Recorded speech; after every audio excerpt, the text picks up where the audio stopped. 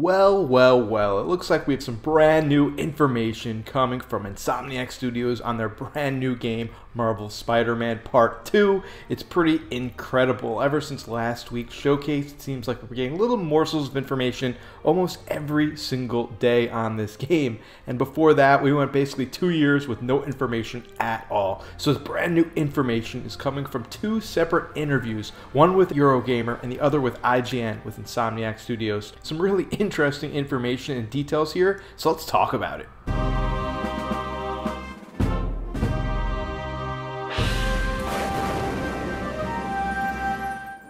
Hey guys, before we get into these juicy details, I do have a subscription goal of 3,500 before July 1st. So if you wouldn't mind hitting that old Subaroonie button, give me a like, I would definitely appreciate it. Now let's get into some of these juicy new details. The first one is very important to me, and they said that the demo that we saw at the showcase last week was from an earlier build of the game. So there was a little bit of controversy out there, people saying, hey, this game doesn't look great graphically. There were some people criticizing the water effects and other different lighting.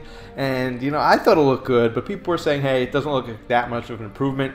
So now Insomniac has come out and said that demo, that trailer is from earlier build. Now you would ask, why would they show an earlier build at their big showcase? And the answer is these demos takes a lot, a lot of manpower to make. A trailer could take like 50 or 100 hours of manpower to put together. So this is something they've probably been working on for months and months and months. And so it's not the latest and greatest in terms of what the game actually looks like right now. I mean, the game has not gone gold. It's not finished. They're still polishing that up for hopefully a fall release, hopefully around, you know, September, October, November. All right.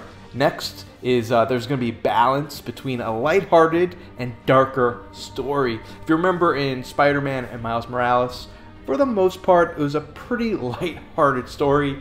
Granted, they were dealing with some serious topics at times, but it wasn't really that dark. I mean, the end of Spider-Man was pretty dark. I'm not going to spoil it here, but pretty, pretty dark. I don't know if it gets much darker than the end of Spider-Man, but Miles Morales wasn't that dark either. Actually, Miles Morales was pretty dark too.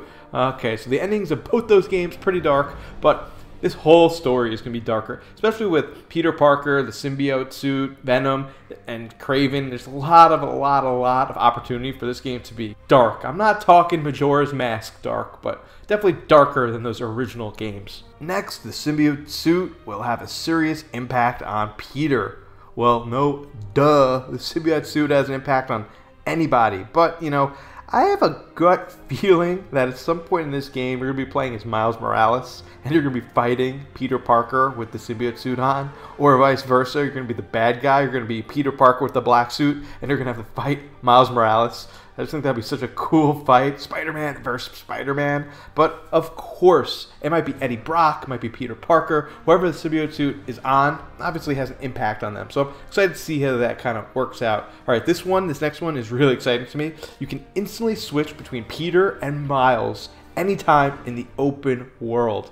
Wow. So just like in Grand Theft Auto 5, all you have to do is press a button and you could actually go and play as another character and see what they're up to. I'm really excited to be able to switch between these characters, not only because it's really fun and change the gameplay up, but it's always fun to like switch to a new character and actually see what they're doing. They're not just gonna be sitting on a couch. You might switch and become them in the middle of a battle, in, in the middle of a gameplay sequence, in between like a fight or a chase. It's just going to be really fun to be able to switch on the fly. Or if you need to get to the other side of the city and the other Spider-Man's already there, it'd be really cool to switch between them. They also said there's going to be story beats for each character individually, very similar to Grand Theft Auto 5. I'm really, really excited to see individually how these stories interweave, and I'm sure there's going to be like cross intersections where they're both at the same time have to accomplish something together, and you have the choice if you want to be Miles Morales or Peter Parker. This next one is is a doozy. It's a big one, and they're saying that this game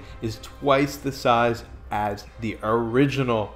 There's going to be boroughs, including Queens and Brooklyn. So we're going to have Manhattan and all of the boroughs, which is insane because the original Manhattan in Marvel Spider-Man and Miles Morales was pretty freaking huge. And if this game's to be twice the size, you know, I might need to fast travel once in a while. I never took the subway in the original games, maybe just to see what it looked like, but I never actually took it to like actually play the game. But if this game is that big, I might have to. My one concern um, for anybody that's not located in, you know, Manhattan or the tri state area of New York. I'm from New York.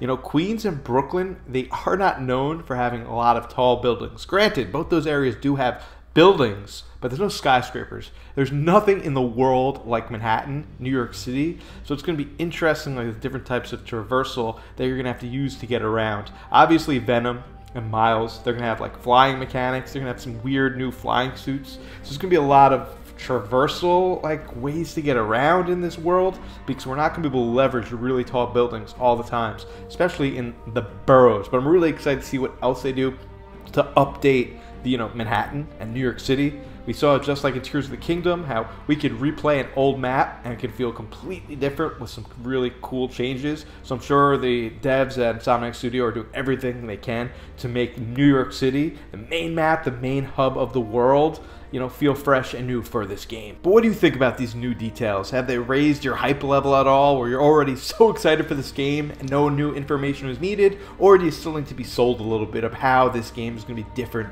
from the original? I know some people were kind of complaining that that trailer at the showcase, the demo is a little too long, and you know, they didn't need to see that much of the game. Me personally, I want to see every little morsel, learn every little thing about the game. But let me know, I want to hear what you think. Are you very excited for the game? Are you excited about any of these new details, let me know down in the comment section. You know, interacting with you guys is my favorite part of making YouTube, so I'll definitely get back to every single one of my comments. Guys, thanks so much for watching this video. Like I said earlier, if you're new to my channel, definitely think about subscribing, hitting that like button. I do have a lot, a lot, a lot of Spider-Man 2 content in the works. I'm going to be making content up into the release and then way, way past. So guys, again, Thank you so much for watching this video. As always, I'm Turbo Jesse. I'll see you on the flip side.